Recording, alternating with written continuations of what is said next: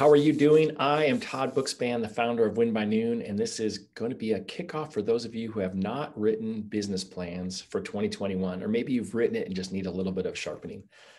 I, I love teaching this class. Uh, I recognize a couple names who are here of people who've already been through it at least once. So I know uh, that uh, it wasn't that bad last time if people are coming back, or maybe it was bad, but they, they need to come back and have a refresher. Um, but uh, for those who don't know me, I'm Todd Bookspan, the founder of Win by Noon. And this is uh, just really the funnest class because prior to getting into coaching and having Win by Noon, I taught business planning uh, every year, you know, November, December, January was really the biggest class that I taught. And then I used quarterly business planning with my partners as really one of the ways that I that I grew my business. You know, this uh, last year marked my 20th year being involved in the industry and it's just a lot of fun to get to uh, continue to add value and help people really push for 2021 right? 2020 was a crazy crazy crazy year in this industry. And now we've got an opportunity to uh, do back-to-back great years and really push ourselves. And i think it's going to take a little bit more planning. I think it's going to take a little bit more um, intentionality is a word i've been been using a lot um, and really just being focused on what are the activities you need to do to get the results. And so i am going to uh, I'll still stay on video, but I'm going to run through a PowerPoint here and uh, really help you guys through business planning. Um, the chat feature is live. If you could do me a favor and just let me know um, what industry you're in. I think it's uh, split looking at the way I'm guessing on registration between real estate agents and loan officers. So I'd love to uh, see who is on here and uh, make sure that I'm tailoring my content to all of you.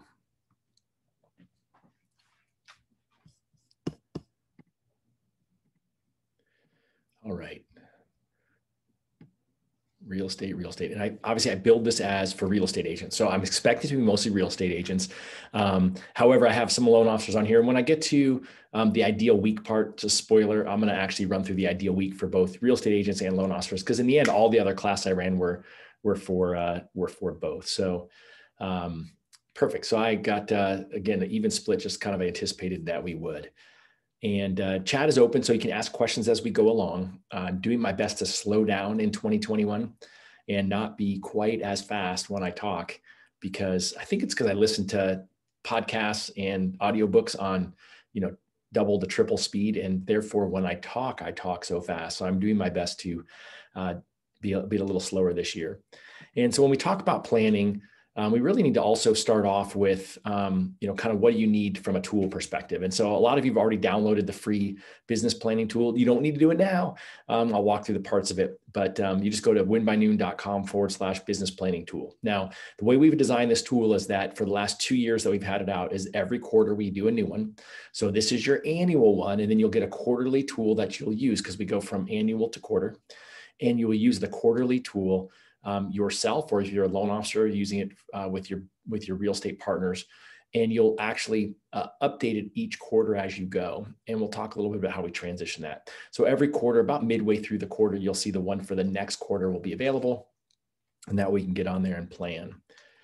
Um, if you have questions afterwards, just reach out to me, Todd at winbynoon.com. You'll find that email is not my love language. It's not my uh, best, but I typically respond to uh, email within 24 to 48 hours. I'm normally clearing through it at least once a day. And so our plan today is to talk about why planning. You know, you're all here, so I know you get it, but I kind of need to uh, rub a little salt in the wound, kind of poke you in the side just a little bit, because here we are in uh, the uh, first uh, couple weeks of January, and, and you're here to plan. So I want to really remind you why we're going to do it. We'll walk through the business planning tool, and then I'll walk through the ideal week. And uh, the reason that I walk through the ideal week is because if you have a plan and you can't execute your from a productivity perspective then you're not likely to reach to the you know the high level of goal that you want. And i think that the ideal week well i don't think i know the ideal week is the solution for people who take the time to adopt it. It's not easy to adopt. There's good days and bad days and you don't need to use my exact ideal week but you can modify it and make it work for you to be productive. That's how you're going to hit your goals I always get to ask to, do I need to be a win by noon user? And the answer is absolutely not. The tool is designed as a standalone tool. These business planning practices uh, predate uh, win by noon. And uh, ultimately, when you start uh, understanding that the whole idea that activities lead to results, and that if you actually can determine what are the activities that I need to do today in order to hit my my year end goal, then you'll realize that Win by Noon is a tool to help you record those activities. You can record them anywhere. You can record them in a spreadsheet. You can record them on a piece of paper. Um, it's just an easy way to do it. Um, I also launched that accountability challenge, and uh, you know, I'm a glutton for punishment. You know that that uh, that uh, definition of insanity that doing the same thing over again and expecting a different result. Um, this is always the the frustrating thing. I'll have you know hundreds of people who tell me they're going to participate, and then I'll have you know a couple dozen who do. But if you need a little bit of accountability uh, this month, um, it's a super easy tool. It's in the Win by Noon uh, user mastermind community. You just uh, text accountability to this number here, um, which is 602 737 3848 um, and that'll let you into the into my text community. And then in that community, we will be uh, asking for accountability. So got off to a little bit of a rough start due to some technology glitches this year, and it's not too late to jump in. It's it's free, and it's just one more way to help yourself grow in 2021. Why plan? I think you guys know this, right? Um, you know, my goal is to push the right buttons to get you guys to do it. Um, I already mentioned the definition of insanity, and I feel like that's a lot of times what people do. You know, there's that old joke, okay, I've been in the business for 20 years, or am I repeating my first year for the 20th time?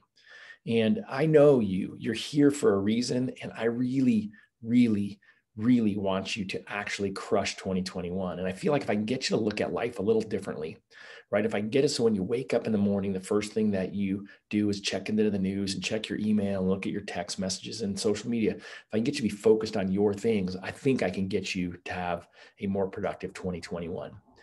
94% of people arrive at their office with no plan. Now, of course, you can substitute in there, wake up and roll out to the dining room table in COVID where you're working from home. But this is a great statistic. And um, it came from a loan officer specific research group. But every time I've taught this in front of real estate agents, there's always been the broker in the room who laughs out loud and says, That's all of you. And so I know that for you real estate agents, that this applies as well. But the bottom line is this, right? 94% of you wake up um, and start working with no plan for the day. Um, and as a result, 91% of you have inconsistent month over month business, right? We understand what that looks like. It's that roller coaster, right? One month is really good, and we kill ourselves to get those loans, those uh, those homes closed, and then we're not doing lead generation. So the next month we don't have any business, and then we kill ourselves on lead generation, and then we get some leads going, and then we kill ourselves to get them closed. And so the whole goal is to level that off and have you have consistent business. Darren Hardy says it this way. He says people walk into the office without a plan, and so people are waiting around for fires. Um, and I think that that is uh, true oftentimes for me when I was starting out in the business. And even when I was, you know, further in business, you walk in because you don't have a plan, you check your email, you're looking for a fire in your email, or somebody stops you on the way in and says, Hey, you got a problem with a transaction, or someone just stops you to check in with you. And granted, you want to be social. You know, I'm not saying that we certainly don't want to talk to people, but the bottom line is, is we find other things to do other than those top priorities. And I already told you guys the ideal week is the the solution there. And so my philosophy, and those of you guys who've seen me present before, I just love these next couple of slides, is this whole idea of working harder. No, working smarter, not harder. Because um, I think it's really important, right? It's it's uh, life is life is too short to just uh, be work, work, work if we're not having a little bit of fun. Um, and so I really believe in this idea of keeping it simple, right? You guys all heard that KISS philosophy: keep it simple. Stupid. Um, and so I use this great example, and uh, I don't know where I found this example years ago, but I'll continue to use it probably forever unless I find a better example. But back in the 60s, JFK said, We are going to the moon, right? He said, We're going to get there. We're going to get there this decade. And it was pretty big deal, pretty bold, uh, pretty bold statement. And so when they were trying to figure out how they were going to get an astronaut to the moon, um, one of the problems they had to had to figure out was how do we get a space pen that's going to write upside down, right side up, super hot, super cold, gravity, no gravity, and really make it work. And so they set out to build this wonder pen. And at that time, um, they actually spent um, what's considered, depends on who you believe, at least a million bucks for the pen. And there's some rumors that in today's dollars, it's over $10 million, which is a lot of stinking money for a pen, right? Um, but you know what? They built a pretty darn cool pen. And you could buy it on Amazon now for like four bucks. And at the same time, we were in a space race with Russia. And I don't know uh, how to read Russian, but that says NASA in Russian, you know, kind of like the whole Sputnik thing. And the issue was they didn't have a million, $10 million to spend on a pen. Um, so when they went up in space, they just um, used a pencil. right? And so that's the whole idea of thinking smarter, not harder. And so what I teach is I tend to teach things that are just easy. Like I'm not trying to introduce a new technology to help you guys close more homes, right? I'm helping you guys figure out how do I organize my day? How do I change my mindset? And how do I focus on the, the right things and identify what the right things are to focus on in order to do more business in less time? So we're going to be thinking pencil, not pen today. And I think this will be kind of make sense to all of you. But you know, you have goals, you have activities, and you have results, right? And so what happens is, is that when you have a goal, right, that's a result. And as I said a little bit earlier, activities lead to results.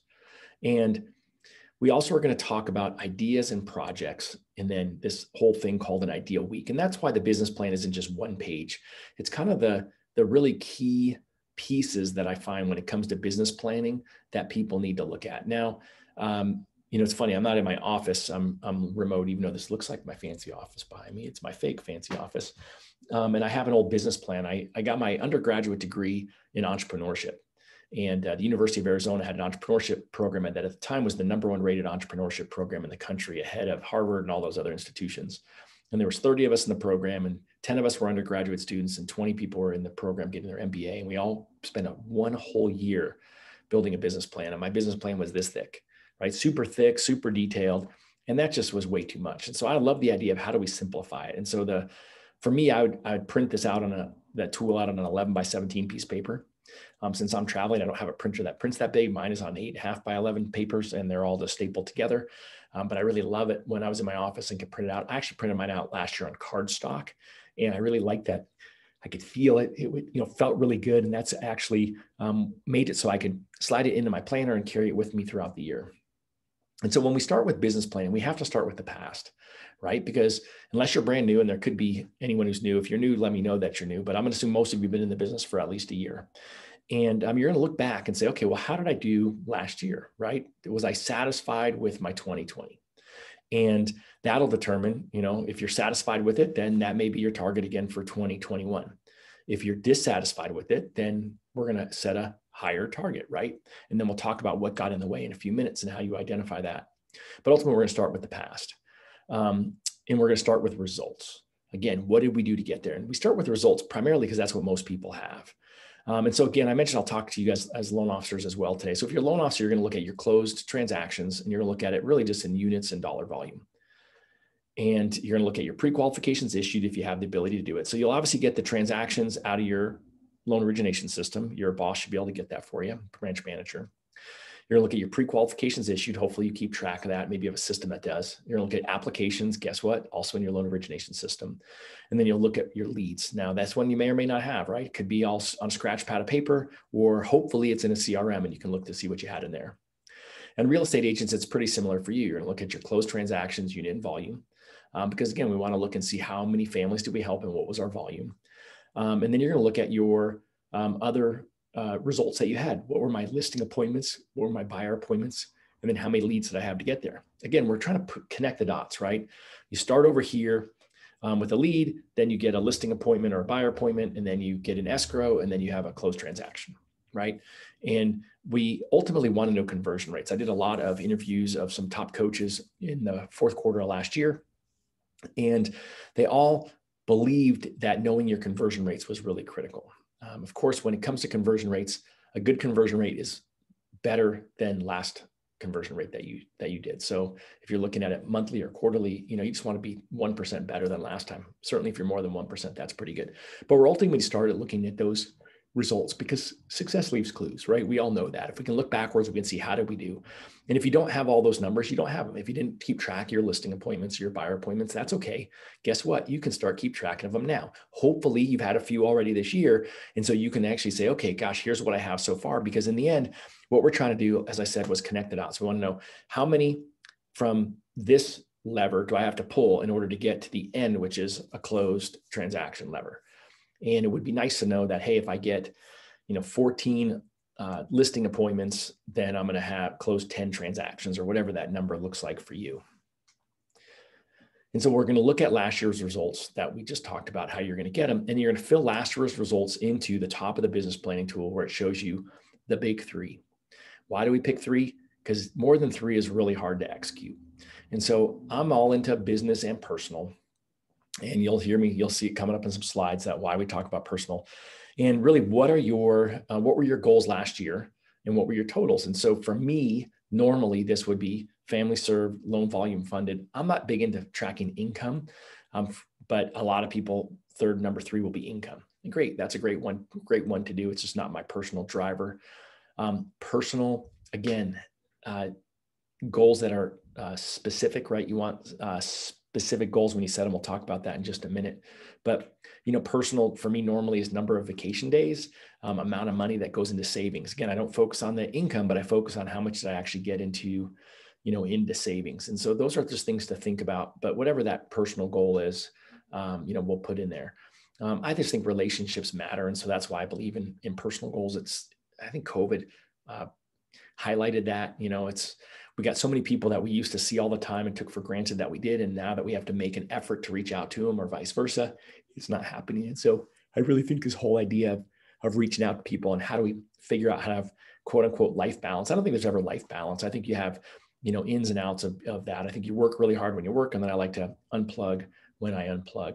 And so whatever that looks like for you, I just want to build that into the planner or build that into the business planning tool so that you can actually uh, be looking at that as you're thinking about planning. Um, the next section right below, what did I do last year, is what are my thoughts and adjustments and changes? So think of this kind of like a keep, start, stop, um, or a keep, improve, start, stop. You know, what did I do that was working and I want to keep doing? What did I work that, what I do last year that was working, but I need to improve on? Um, what did I do last year that I have to stop doing? Like that, again, that definition of insanity. What am I doing? Where am I spending time that, that I shouldn't be spending time? It could be a networking group. Um, it could be a type of leads that you're trying to follow up on. Um, it just could be um, someone in your life who sucks a lot of time from your life. Um, and then lastly, what do I want to start doing? Like, what is it that I didn't do last year that I heard other people talking about that I didn't do? And I'll show you where you keep those ideas in just a minute. But ultimately, you know, what I want to start doing. This is kind of the narrative of your year, right? It could just start off with like, gosh, 2020 started off with such great hope. And then this thing called COVID happened, right? Um, but I see some really cool narratives when I see people take the time to fill it out. For me, I'm a bullet point guy. So mine's just bullet points of, of what it was that I thought about uh, last year. Um, and then we look at next year, right? So what are those same three big three things going to be? And again, this is your yearly goals. What else could you put on there? And hire an assistant, get a new CRM, um, all those things, you know, that are that are in there. Personal, you know, of course, we see a lot of, hey, I'm going to lose, you know, 20 pounds. Um, I'm going to get fit. Um, you know, for me, my focus right now is my morning routine. So I put that morning routine in there because it's just been on the road a lot, and when I'm on the road, morning routine suffers. So, what is it personally that you want to do? Uh, my goal is unplugged days versus vacation days because I just don't see 2021 being a day, a year where I have a lot of vacations. Um, it is what it is, and I'm okay with that. Um, I said that before that you have to make goals um, specific. So let's sort of talk about this whole idea. You've probably heard of a SMART goal. I like to call them SMARTS goals, right? It has to be specific. So, you know, it's not like I'm going to help lots of families with homes. I'm going to sell 25 homes. It's not like I'm going to lose weight. I'm going to lose 20 pounds, whatever that number is. You want to be specific. Um, and it's got to be measurable, right? Again, I can't lose a lot of weight, but I can lose 20 pounds. Um, it's got to be achievable. And this one's a weird one. You know, obviously I didn't make the whole smarts thing up, but you know, if you if you close 20 homes this year, don't say you're going to close 100 next year, right? I mean, that's a little bit too much of a stretch. You know, what's realistic? You know, closing 30, that, that might be a good push. Um, it's got to be relevant to you. You know, certainly don't pick a, a goal, personal or business wise, that has nothing to do with you and what you do. You know, I'm going to be a billionaire, whatever. I mean, that's not, let's get relative, uh, realistic, um, time sensitive. Favorite thing of a coach always to say is by when. Um, and so that's why this is an annual plan. And then that's why we break into these quarterly plans because some of these goals will only take you a quarter to achieve. And if you can achieve, you know, one, two, or three projects in a quarter, that's pretty huge. Um, you know, that's just unusual. Most people don't deliver that. So we got to set a time on it. And then lastly, I added this stretching thing in there. So again, if you close 20 transactions, you know, 25 might be a good goal. 30 might be a stretch. And maybe, maybe 40 is the stretch. But what would it really look like? And so normally I'm a person who sets two goals for myself. I set what I think is a realistic goal that I'll be satisfied if I hit, and then I'll hit that number that I really secretly want to hit. That's more of a stretch, and um, and push myself. I'm not one of those people who sets a goal. If I did 20 last year, then I'm going to set it for 18 this year so I can bust through it, right? Um, I'm a type person who typically, if I did something last year, I'm going to set the same or higher goal this year. And especially those of you who are loan officers, right? Refinances uh, will still be present in 2021, but not quite as much as they were in 2020. And I don't love the idea of saying, okay, I closed 100 loans last year. I'm going to close 90 this year. I like the idea of saying I closed 100 last year. Let me close 100 again this year. I think that's an okay goal in, um, you know, after the year that we had. And so once we go annual, we go annual to quarterly. I already mentioned, I mean, you know, win by noon is a quarterly planner. I feel like you have to break it down into bite-sized chunks, right? Um, and so that's, that's, you know, key number one. Um, and then key number two, it'll force you to meet with your accountability partner. And I think accountability is so key. And that's why uh, those of you um, who are here um, as a loan officer with your real estate agent or real estate agent with your loan officer, I just applaud you because you need someone who's going to hold you accountable. If you're a branch manager um, in a real estate office, or whoops, that was my remote control. That wasn't good to drop. That's all right. Just pretend that that didn't happen. Um, but uh, you know, if you are in a, uh, you know, if you're a, a, leader of a team or of a branch of a real estate company or mortgage company, you know, consider, um, you know, holding, finding someone to hold you accountable um, you're 76% more likely to achieve a goal, according um, to the uh, most uh, reliable study that I've seen, if you actually have an accountability partner. Um, what they'll tell you is you need to have thought of the goal, um, written, uh, thought of the steps and written down the steps for your goal, shared with a friend and held yourself accountable, and you're 76% likely to get there. And the interesting thing is that although I think the accountability is the number one key, because the people who had accountability um, achieve their goals 12% more than the people who did all the other steps without the accountability piece, I still feel like if you don't take the time to write the steps to get there, okay, so let me repeat that again. Hold your put your hand on your head and say, I'm going to write down the steps to get there. Again, that's why we're doing a business plan. And that's the intentionality I'm talking about. It's the whole idea of forcing yourself um, to uh, meet with each other so that you actually will get this done and force yourself to look at it over and over again. And so then we're going to break it to a Q1 goal. So if you said you were going to do uh, 24 transactions, then you have a couple of choices. You can divide it by four, right? There's four quarters in a year. And you can say, I'm going to do six transactions. Or if you think, oh gosh, you know, it's snowing in my area now and I'm only going to sell two houses, you know, this quarter, you can adjust it for seasonality if you know how to do it. You can be like, all right, I'm going to sell two in the first quarter, two in the last quarter, and then I'm going to sell, um, you know, 10 in, in each of the other two quarters, right? Whatever you think. But for me, I'm all about law of averages. I would just shoot for dividing by four and getting it done.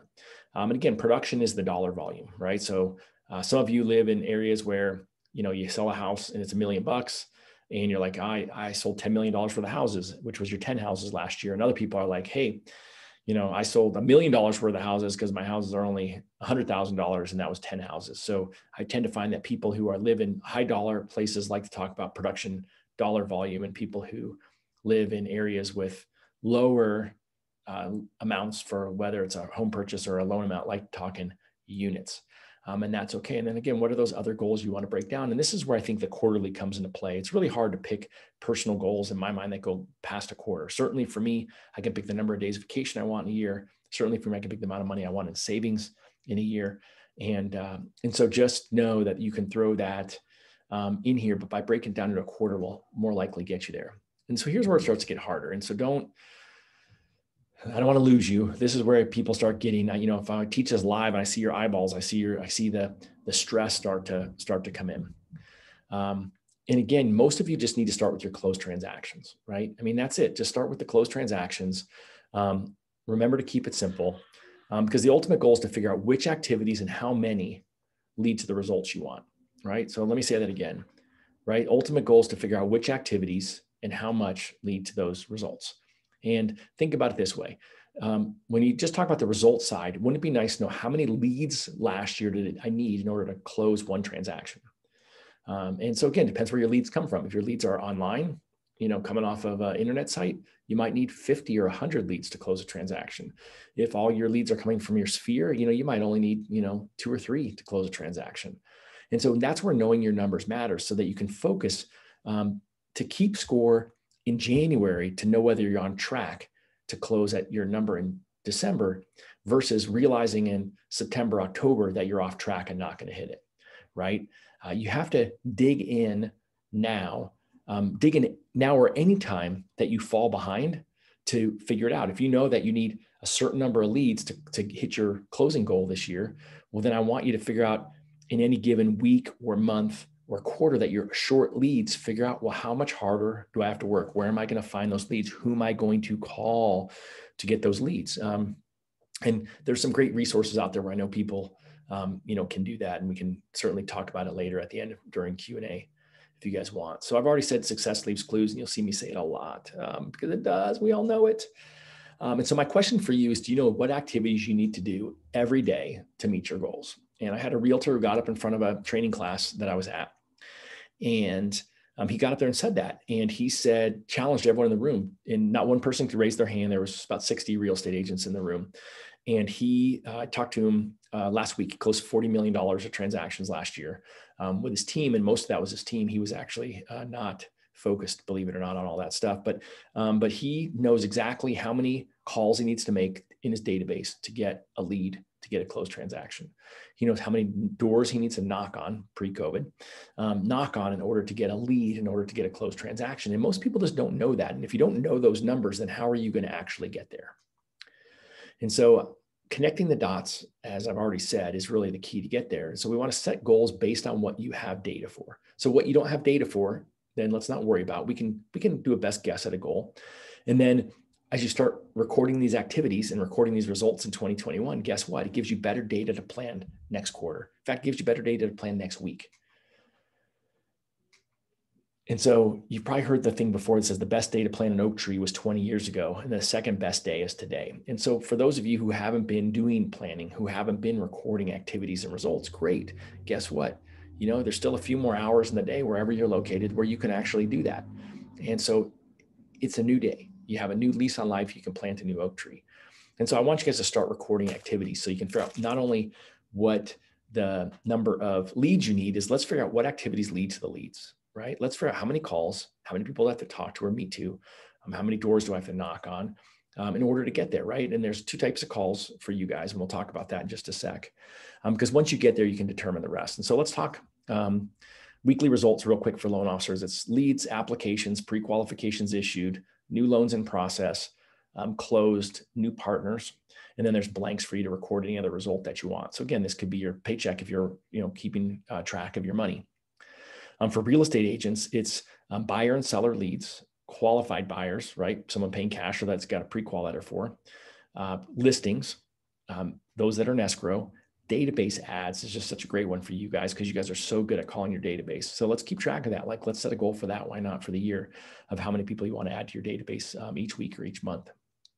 And then um, separate out your buyers and sellers closed and you can have a total. And again, you've got a, another spot there to record some other stuff and then um, and then you break it down from there into weekly activity commitments and so look at that word there i talked about being intentional before what am i going to commit to um, and again if you've never done this before skip this part if you're brand new and you're not a win by noon user skip this 100% but just know these are things that i would personally encourage you to record going forward right how many leads am i calling um, how many clients am i calling how many you know partners this is the loan officer version of it um, and then when you're for the realtors here's what yours looks like right buyer and seller lead calls, right? Client calls. So client call is someone for real estate agents. It's someone who's in process. So someone that you already um, have a, a buyer broker with who you're showing homes to, or someone who you have a listing for. That's just the in transaction. Um, database calls. Again, you guys are great at that, making your you know quarterly calls or however often you're calling your database, and uh, continue to do that. Um, quality conversations. Who am I talking to? Right? Buyer and listing. Uh, you know presentations um, prospecting time is there. Now, prospecting time, the reason it's in real estate agent and not in loan officers is because a lot of you use a dialer. You know, I called a real estate buddy of mine the other day. He's like, hang on, Todd, I couldn't hear. I had my dialer on.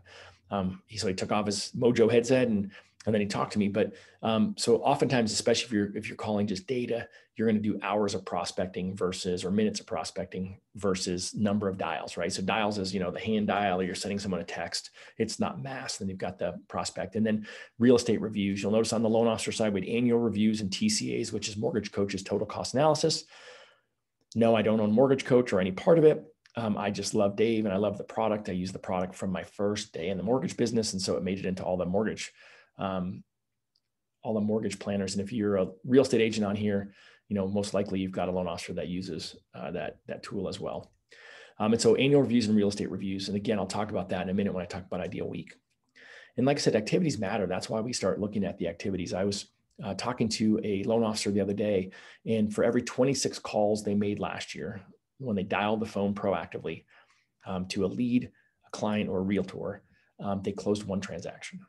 So wouldn't you like to know that? So literally, they know most likely, as long as their numbers hold true again in 2021, that if they make 26 calls, their goal is to um, make 20 or really 30 they rounded up. I talked about it right? Hey the market may not be as easy next year may take more calls. So they went for 30 calls a day five days a week um, with a you know with a, a, goal of 50 weeks a year of working. And um, and so when you you know you, you add up all those weeks um, it's you know it's a target basically for a 300 loan a year loan officer. And they know it because they've watched their numbers. Um, some of you could only be 20 calls you have to make could be 40 calls you have to make. But wouldn't it be nice to know when you left the, for the day when you looked at your numbers for the week huh am i on track with my activities? Because eventually the activities lead to results the next thing that we do is the personal stuff. I call them habits of success. And I'll just run through them real quick and I'll talk about the why behind it. On time is time working on your business. For me personally, right now, I'm scheduling a minimum of four hours a week. I've actually got to set up right now for six hours a week, just working on planning and planning on my business. Um, it's really important. It could be learning time for you. Like, hey, I'll read a book, I'll listen to a podcast, handwritten notes, right? A great one. Um, if, if you are part of the mortgage coach community, or even if you're not, you can go to the mortgage coach YouTube channel, realtor, loan officer doesn't really matter. And uh, there was a webinar we did last Friday on, uh, by, we interviewed Mr. Thank You on the power of thank you notes. It was pretty cool. Um, social media posts and hours per week. Now, there's two reasons we put this in here. Um, number one is because we all need to be posting strategically for business right now. And so I think you should be looking at how many posts is that a week for me? Is that four posts, three posts, seven posts? Um, and then I like the hours per week, not from am I me working on my business. It's how many hours I get sucked into Facebook when I got on there. It really is a reminder to stay off of it, right? That whole idea of being proactive, not reactive. Um, I'm super nerdy about my health. Um, sleep is my biggest uh, focus uh, most of the time. Exercise, morning and evening routine. So when you look at mine, if I if I flip my morning and, and evening routine open um, in my planner, right? My morning routine is coffee. Although I drink decaf, so it's weird to say I drink coffee, but I still enjoy the the feeling of drinking coffee. No, it's decaf. Um, meditation. I'm reading something spiritual and learning. Um, I'm staying off my phone and off my computer to at least 7 a.m. So that's my morning routine, right? My evening routine. No screens an hour before bed um, no food three hours before bed, a two hour minimum, right? So it's kind of sometimes we have a stretch goal and a real goal, right? My my my goal is three hours, my minimum is two hours. Because why? Because it leads to better sleep.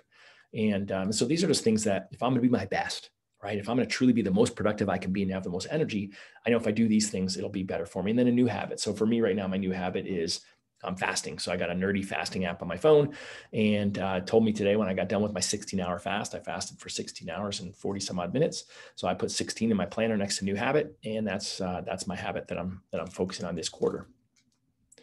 And so remember, I said life is more than is more than businesses, and this critical relationships is funny because uh, I always tell the story. Adam, who's my right hand and win by noon, he threw this in here. He made it up because we had space. He's like, "Well, it doesn't look good. We don't. We need. We got the space. What do we do with it?"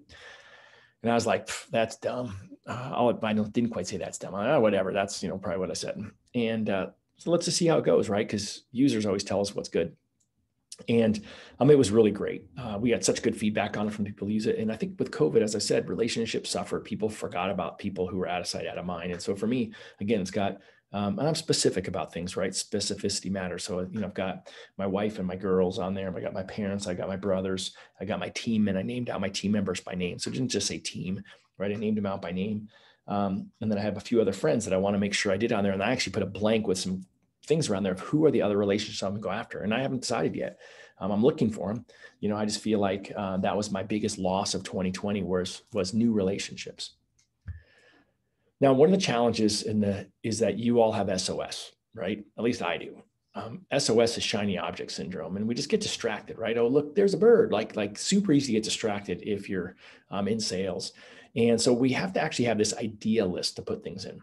And so again, as I've got ideas broken out differently on my list, um, so mine actually has. Uh, uh, four, you know, four different sections on my on my list. Um, one is win by noon. One is for my team.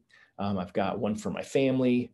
Um, I've got one that's personal, and then I've got one. Actually, I added a book list the other day because um, someone recommended a book, and I want to make sure I I get it and listen to it. And so, um, so I've got that in here. And the reason that you do that is so that you don't get distracted down running, you know, down a path and not get whatever it is thought through first.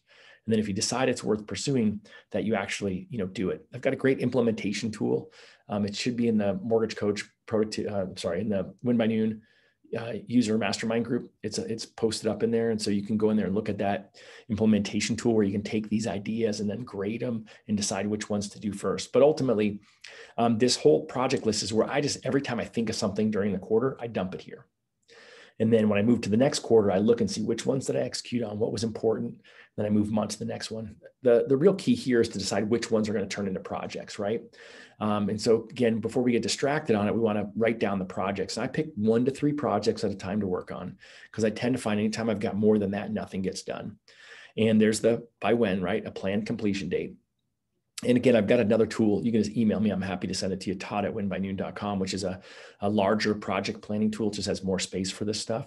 But you know, again, if you're gonna get a new CRM, put it as your project and remind yourself and have it in there because then you can look back at your business plan, or if it's in your planner, you can look in your planner and you can look back each week and say, what am I, how am I doing? Am I getting my project done? And remind yourself. And the reason I create the idea list is because I tend to find that I used to run down at projects because it was the one that seemed the brightest and shiniest, hadn't thought through it. And then it, it ended up getting pushed aside when I was halfway done, wasted time on half of it, and then moved on to something else. And what I found since I've been keeping this, um, this project list is that it actually allows me to think about do I want to do this, yes or no, before I jump in and just do it. And then it has the steps. And again, sounds really dumb. Most of your projects are more than five steps, but when you interview people and say, well, why didn't you start the project? They just said, I didn't know where to start. I was overwhelmed. And so this is just a spot to write down a few steps. Right. None of you wanted to be a loan officer or realtor when you when you grow up. And so at that same webinar where the person got up and said um, that he, you know, asked the group, do you know what you need to do to, um, you know, every day to reach your goals? um, someone else got up and said to this group of realtors, and they were all like, you know, chins all hit the floor. He said, You all got in the real estate business to set your own hours. And that is the exact reason you fail. And that is the exact reason you fail. And he said it over and over again. And that is the exact reason you fail. Um, but if you think about it, I already said it, right? People walk into their office with no plan. People walk into their office um, looking for fires. And that's why people fail, right? Um, it's like the whole dog wagging the tail, tail wagging the dog, right? That whole thing, chasing yourself in circles. And so this would be one of those things where um, we could talk about having a, a, committed schedule of activities. And so if I was in a room of people, I would probably call on someone who worked in a fast food restaurant um, or Starbucks and someone raised their hand, right? And then we would walk through what does that look like? And you have a committed schedule of activities when you're there. If you're the opening shift, you get in there a certain amount of time before your shift starts and you, you know, you're loading the cash register up and you're pulling the fries out of the freezer and you're getting the burgers ready and all that kind of stuff. You have a committed schedule of activities. And that's what your job is. And then if you're working the front counter, you're reacting because you've the counter set up for you. It's got the money in there. You got your hat on. You look all cute and all things you got to be doing in order to to be the best uh, frontline person at that fast food or coffee place, whatever it was. But you have this activity and you've got a role of what you do, and it doesn't change. You've got a job. And in real estate, you don't have that. You get to wake up and decide, huh, hmm, oh, what am I gonna what am I gonna do today, right? Um, and if you have a committed schedule of activities, what I call the ideal week, um, then that's how you're actually going to overcome the challenges, right? The reason that a McDonald's burger franchise is more successful than you know Joe's Burgers on the corner is because they have um, systems, they've got schedules, and I'm going to encourage you guys to do that as well. And so that's where this form that comes in here, which is the ideal week, right? This whole idea of what gets scheduled gets done. And so for me, um, if I show you guys mine for this week, um, it may not be easy to see, but I'll uh, I'll show you what mine looks like. Now mine's a little bit weird right now because I am working remotely, and um, and so I got to kind of show it to you from here. So you can see here I've got my on time in the morning. I've got unplug on the weekends because I don't have anything planned there. And then you'll look, I got my dialing time. I only had a few things that are scheduled in the in the week that'll get in the way of it. And then I have my webinars here, right here we are here because I'm East Coast time right now. And then React. This is my time to do all the reacting and then unplug. And mine is a little shifted because the fact that I'm normally in Arizona in mountain time and right now I'm in Eastern time. And so it's shifted. But this is the visual thing. And so I want to see what this looks like for the quarter. Like, what is this going to look like for me? And set that as my committed target. I'm going to be intentional about that.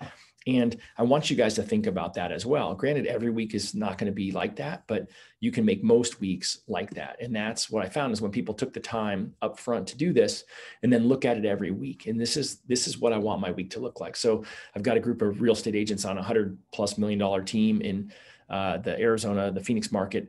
And you know they're 9 to 11 for them is lead gen time right? So they're theirs are blocked out. They're in the office typically. Now some of them are at home you know doing lead gen from 9 to 11 i've worked with real estate teams who block 9 to noon to lead gen every day. And um, again it's just a matter of you deciding what, what do i want that to look like most weeks? And then just know there's going to be weeks where things you know get things get moved around. I view these like lego blocks. They're not things that are optional. Um, you can't just delete it but it's a Lego block. You can just move it to a different day. So if I had to do, you know, uh, two hours of, of prospecting time uh, or two hours of on time, and it, I can't eliminate it just if I forgot to do it this morning, right? If I if I would have forgotten, um, I'm just going to move it to a different day and still make sure it gets done, right? Make it so they're not optional. Make it sure that they get they just get moved and and that you're committed to doing it. I believe if you own your week, you can own your business and life. And so I break activities into two types of activities. I, I say that there's win by noon required daily disciplines. These are things you need to do in your business every day, like not just some days, but every day. Well, like five days a week, right? Every day. And then you have target day activities. Now, when we talk about target day activities, it's kind of like, um, you know, these are all the things that are going to get you from where you are to your goals and where you want to go. I mentioned earlier that that study showed that the people who knew what the activities were to get to their goals are the ones who achieved it the most. Um, and so that's why we talked about the accountability partner. Um, and I would say you do a weekly check-in, um, you know, or in a monthly in person once we can do that again. Um, and so that was just a quick aside for those of you here with your with your peoples. But let's just talk about the the win by noon daily disciplines, right? So for everyone, I don't care what industry you're in. I have a lot of insurance agent users now of win by noon. It's leads. We're doing we're calling leads, right? I got executives who use it and they recruit, right? That's a lead to them, right? Whatever your leads are, you should be calling leads every single day. There's no days where you shouldn't be calling leads because we know if you don't call them, they're not going to call follow up with you. Um, and you realtors need to be working your sphere, right? You guys do database calls. And so this is the one where you could say, well, I don't do it every day. I just do it three days a week. Great. Write it down what the three days a week you are, you're going to do it. But you need to call leads every day, period, right? There's just no day you shouldn't be following with your leads. If someone said they want to buy a house or sell a house, you should be following up with them. And if they said, hey, call me in a week, then great. Make sure you have a day scheduled and you've written down on your calendar for that day to call that person about um, you know, follow about uh, listing their home. Um, so um, we got leads, we've got Sphere. Um, and then if you're a loan officer, your second one is leads and loan applicants who you haven't gotten across to a pre-approval yet. You know you've got those people. You know that you have people who have not gotten you that stinking tax return, and you're like, "Yeah, I got the application," and your realtor's like, huh, "Well, yeah, but where's my pre-qual letter?" Right? And we know they're infinitely more likely to buy with you and your realtor partner if you get the pre-qual out, and you've got to follow up on it because people you know they seem all excited about it but if they don't get you what you need then you aren't going to get them to buy a home. So target day activities um, it's what you do with specific days of the week and it's kind of like spirit days. You know i didn't have these but my kids did right? Crazy hair day and, and, and pajama day at school. It's things we're going to do specific days of the week in order to be more efficient and more consistent. Now hear me out on this the reason that we're going to be more efficient is because if i do one activity at a time I'm going to get through it and get more of it done before I get distracted by something else. So if I say, hey, I'm going to call leads for 30 minutes and I'm in my leads, then I'm going to call those leads and get it done. If I say I'm going to call my database and I'm going to call 10 people in my database today, whether that takes me five minutes or it takes me 55 minutes or an hour and 35 minutes, I'm more efficient because I'm in there doing that, focused on it um, and getting it done. And then actually you become more consistent when you assign a day to it. Um, and I would say that this is really critical when we talk about the ones where we're updating clients. Because if you tell a client, hey, I'm going to update you every week, um, and then you don't, then you broke trust with that client. And so if you tell them, hey, I'm going to update you every Tuesday or every Wednesday or whatever day of the week you're going to choose to do it, then um, you now have made a commitment. And guess what? When you tell someone you're going to do it a specific day of the week, you're going to be more consistent. Hello. Um, and this is when conversion rates increase. This is when the magic happens. You actually close more transactions in less time, working smarter, not harder, because you're doing things on a consistent basis. And so let me just walk you through how I would set up my ideal week. If I was a real estate agent, and for you loan officers, this is how I set mine up when I was doing loans. And I think a lot of you know that, you know, my last year of doing loans, I did 550 loans, about $115 million. Um, and so it, it, worked. So again, you're gonna start off calling leads. We told you that. Calling your sphere if you're a realtor, and then calling your applicants who haven't converted for your loan officer. And then really just review, right? Look at your numbers, total up your numbers from last week. How did I do? I set a goal to have three leads. How many did I get? Oh my gosh, I didn't get three. Okay. Um, and here's the key, right? We're not going to delete. If I said I was going to get three leads last week and I didn't, um, I only got two. Guess what my goal is for this week? Four, right? We're not going to, we're not writing that lead off because if I write that lead off today, guess what? That's less closed transactions at the end of the year. I got to make it up this week, right? And that's why we want the, the goals to be realistic goals, right? What is that real number I need to have? And hopefully you'll know what that number is. So we're going to review and look at where we were and we're going to set our intentions for the week, right? For me, this so I'm going to write my calendar out. I'm going to I'm going to look at my ideal week compared to what I want it to be. You saw my ideal week for for that I showed you for uh, this week. It's got you know three webinars in there. Well, guess what? Those webinars weren't on my ideal week. Well, one of them was, but the other ones are just ones I put in there. Well, great. I I said those were good, and I set the intentions, and I'm here today doing them. Um, that's that planning committee that I'm talking about. And then I'm going to launch my week. And launch my week is to be clear my emails, right?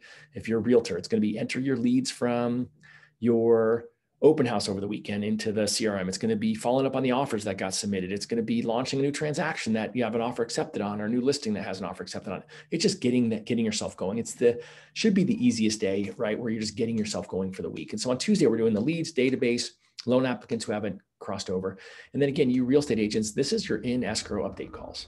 Again, I already kind of mentioned it. Spoiler alert, right? We're going to actually call people who are who are in escrow. So these are your listings that have a contract. These are your buyers who have a contract. And again, the good news is you'll see this doesn't take a ton of time, right? I suggest you do it first thing, right? Win by noon, because again, if you wait till the end of the day, you might get distracted and something might some emergency may might pop up and you might not get it done. This is your plan for the day. I'm going to get up. I'm going to call my leads. I'm going to call people in my database. I'll do these in escrow calls, right? It's going to only be, you know, a handful of calls. It's just not that many calls. Um, you know, and if it's a lot of calls, that's good. That means you have a lot of transactions going. Loan officer, it's your loan status update calls, right? They go hand in hand. These are your folks that are um, under contract and, and, and, going. And so really all you're going to be doing is calling the client, you're going to be calling the buyer's agent. If you're the listing agent, you're going to be calling the listing agent. If you're the buyer's agent, loan officers, you're going to call both. You're going to check in with your transaction coordinator. If you're a real estate agent, if you are a loan officer, you should call the transaction coordinator because he or she controls your destiny. They know whose transactions are blowing up, and that's a great potential referral source for you. And all you're telling them is what's next, right? Hey, you know what? It's Todd. It's your Tuesday update call. Um, you know, your uh, appraisal was ordered. It's going to be in tomorrow, and uh, you're in underwriting for your conditional approval. We expect that out by Thursday right?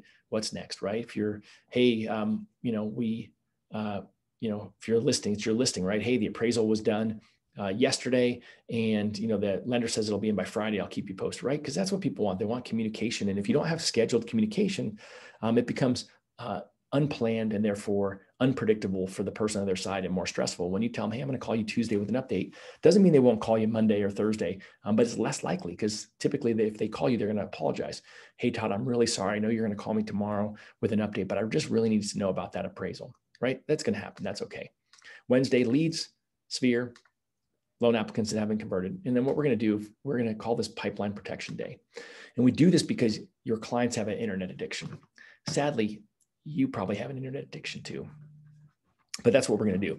And so, real estate agents, you're going to call your buyers and sellers not in escrow, right? Your sellers are wondering what the heck is going on. This where you can tell them the feedback from the weekend, um, from the people who came through. You can, you know, just go for your buyers because they're frustrated right now with low inventory, and you're going to be helping your buyer understands what's going on and maybe set up there hey look at that. There hopefully some new properties on the market or hey did you see the seven listings i sent you today? You want to see any of them? But this is really just keeping those folks who aren't in escrow engaged with you. Because i can tell you from the loan officer's perspective when you're not doing this they're calling us and saying i haven't heard from my realtor. Like what's going on? You think that the auto listings you're sending them every week are keeping them up to date. They're not. They're actually looking at other websites and they're maybe going to get distracted by somebody else because they're look, there's a bird right there. They're distracted like that squirrel picture.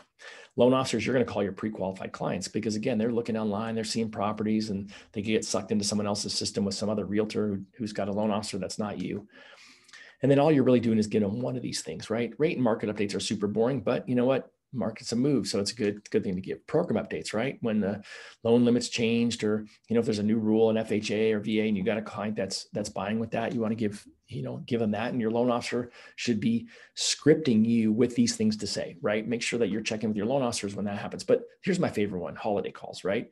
You know, I talked to a, a realtor friend of mine today, and I said, "Well, how was your holiday?" Right? I can still do that. Um, it's not that far off right? I can ask her about how was it, you know, she told me what she did for New Year's, which was unfortunately not a whole lot. Um, but nonetheless, you know, those are the conversations that you can have because because of COVID, you kind of can predict some of it. But holiday calls are really easy, right? So when when things are coming up, you know, before Christmas, you can say, hey, what are you doing for Christmas? Make notes in your CRM, and that way you can call back and say, oh gosh, how was your trip to Chicago for Christmas? But holiday calls are one of my favorites. Um, my number one script is, hey, I'm just checking in. Again, you just want to get a, a temperature of your clients. Are they getting nervous? Um, you know, because they haven't sold their house yet? Are they getting nervous because they haven't found a house yet? Are they, um, you know, what, what, do they need to know? But this is just a great opportunity for you guys to uh, stay a little closer and have a little better experience. You know, you realtors, you got to remind them who their lender is because their lender's not doing this. And then, of course, I joke with lenders that you also need to remind who their agent is sometimes as well. And again, it's it's I, people laugh at this in the room. You may or may not have laughed. I tend to find that people who aren't laughing are the ones who don't always have the best follow up, and therefore uh, you may lose people. And we just don't want that to be the case. And you're also going to tell them what's next. You're going to call people buying within 30 days weekly, people buying within 60 days every other week. And then everyone who's buying at least 60 days out, you're going to call them at least every three to four weeks. You know, living in Arizona, there were so many events that would happen that people would come in the winter, right? Snowbirds, uh, they'd rent a house and they'd say, I'm going to buy a house next year. They'd come for, you know, the Phoenix Open golf tournament and they'd say, I'm going to buy a house next year. And I would always find that the realtors didn't typically keep in touch with them. And I did. I called them every three to four weeks. Sometimes it went to six weeks, but I checked in with them. And so that way, when they came back that next year, I had their application updated, I had them ready to go, and then I got them referred back to my real estate agent. Um, unless sometimes they found another agent in the meantime, which was never good. And you're going to follow up with them until they buy or die. Thursdays, leads, you're going to call your database. You're going to call your loan applicants who haven't gotten done if you're a loan officer. And then what you're going to do on Thursday, if you're a real estate agent, is uh, you're going to remember that your clients still have an internet addiction. You know where they go for value, right? And so again, you're the real estate expert, not this website. Um, but your clients go there and they think it is, and so you want to be um, going there because if they go there now, you know they can get a cash offer, right? Um, you guys all know that. That's not a surprise to anybody. The statistic that I saw was when they were in seven markets, they were getting a request for a cash offer every five minutes. They're in uh, 20 some odd markets now, and I promise you, they're getting um, you know multiple offer requests per minute. Um, so I want you guys to do real estate reviews. Um, I already said it, it was one of the things that we would track um, and you should commit to. And I just think you should commit that every one of your clients gets at least one real estate review a year. And I think quarterly is better. And then some of you have heard of the product HomeBot. I'm a huge fan of HomeBot. Um, there's some discount codes if you go to HomeBot. Um, .ai for artificial intelligence forward slash win by noon. There's a discount code for realtors and loan officers there. And um, it's a great way to automate it. And then when you call, you're just actually saying, hey, did you look at your your uh, your HomeBot digest. In this case, if you're not using that, you just say, "Hey, I ran a quick CMA on your property. Looks like you're up thirty thousand um, dollars." This is even harder if values level off and they're not going up, but it's even more critical then because that's when your client's worried and needs to hear from you. If you're a loan officer, you're doing your partner calls, um, and you're doing this to protect your weekend because um, close your ears for a second, real estate agents. Real estate agents don't always plan. And so oftentimes they forgot to tell you that the Smith family is flying in from California this weekend and they're going to be looking at houses. And so they're going to call you at seven o'clock on Friday night to get pre-qualified when they land versus if you do this on Thursday, that gives you the rest of the day on Thursday and all day on Friday to track the family down and get their application so that you're not doing it over the weekend. Protect your weekend. Again, same thing. If they're running an open house, maybe they call you Saturday morning and say, Hey, any chance you can bring some flyers for this? So if you're calling your agents up ahead and you're asking them, um, what are their weekend plans? You can figure that out. You're going to give them client updates, right? Because you just called all your pre-approved clients yesterday. You're going to ask about those weekend plans to protect your weekend. Um, and then the same thing with realtors, you're going to discuss your holiday calls, your rate market updates, your program updates, just checking in. And this is going to fuel them for their conversations with their clients next week. You're going to call your best partners weekly, everyone else every other week, and and uh, the whole the rest of the crew. Best partners weekly, second level group biweekly and everyone else every three to four weeks. Because if you don't follow up with them, they won't follow up with you. Friday, we made it. Leads, sphere, loan applications. What are we going to do? We're just going to do a weekly wrap up, right? You real estate agents, you've got to get ready um, for your open houses. You got to get ready for your realtor tours. So you're just going to tie up loose ends on a Friday, right? That's just really, really important. Um, if you're a loan officer, you're also going to do annual mortgage reviews. Um, of course, you know that I believe in using Mortgage Coach for those. Again, the same reason is that your clients who the loan officers who did mortgage reviews consistently had a higher amount of their previous clients who came to them first for interest rate quotes last year with, with rates being there where they are. And I promise you, Um, I talked to a loan officer today who just found a, a client of theirs that had a five and three quarter primary mortgage rate that they're refinancing the client out of, saving $500 a month. Um, ironically, they found that through HomeBot, which is a whole other story. But um, but ultimately, that there's just people that you know that you should be following up with. The Mortgage Coach is great tool. What about weekends? You know what? I don't schedule things on the weekends because you realtors have the hardest job. You're already working seven days a week. I do know a lot of real estate or loan officers who spent half a day Saturdays um, this past year working on pre-qualifications or working on refinance uh, just because you guys were so busy. But um, but that's really the key. And just know that you can move any of those days around. Like I like those days for a reason, especially the loan officer ones. Like I think the Thursday realtor calls are critical to protect your weekend. Um, I feel like Tuesday is a great day to do your updates because Monday's typically too hectic. Some Mondays are holidays anyway. And Tuesday, you know, you had time to get everything caught up on Monday and get it going. But you know, you can move them around. You can you can stack them up. You could do, you know, if you're a realtor, you could do all your client calls who are in escrow and your client calls who aren't in escrow yet on the same day, right? You just have to decide, but just pick a day and commit to it, right? Committing to it will make you more consistent.